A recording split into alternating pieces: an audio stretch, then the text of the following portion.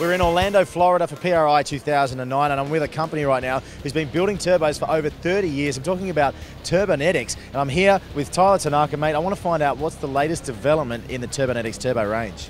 Yeah, the main product that we're uh, really pleased to debut here at PRI is the forged billet compressor wheels. Uh, we've got a variety of different wheel sizes that we're introducing, all the way down to street turbochargers, all the way up to the big 122 uh, full racing, uh, you know, 3,500 horsepower for a single turbo application. So very excited about that.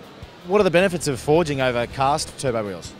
Well, two major improvements. Um, number one, a billet wheel is significantly stronger than a cast aluminum wheel and a forged billet is even stronger than a standard 6000 series uh, billet aluminum. So we've got the absolute strongest possible aluminum that you can make out of these compressor wheels. And does that allow for different types of machining? Now what it does is it allows the compressor wheel to be machined uh, much differently uh, than a cast compressor wheel. You can make the nose and the hub significantly smaller, which means that you've got a greater blade width and it's going to flow more air and equal more horsepower. And then second, it allows the wheel to have a thinner blade, effectively making the efficiency of the wheel go up because it has less contact with the air and less heat, and heat obviously robs power. And then the third thing, we can change the design of the wheel on the fly.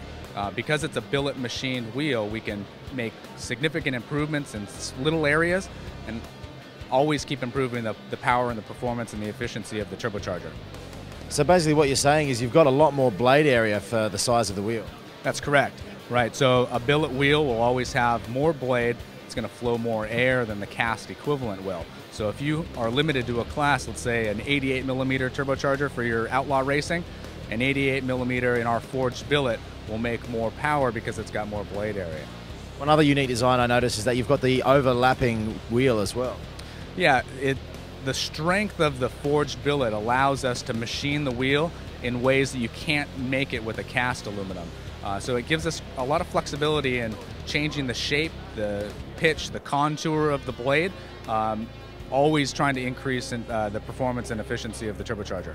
What sort of applications would one of these turbos be good for? Anything from a street car uh, down to you know two liter, three liter street car, all the way up into small block Chevy, big block Fords, um, anything that you want to make uh, the most horsepower you can for a given turbocharger size, our forged billet's going to meet what you, what you want. You've definitely mastered the art of billet because you now even have a two-part billet ball bearing housing.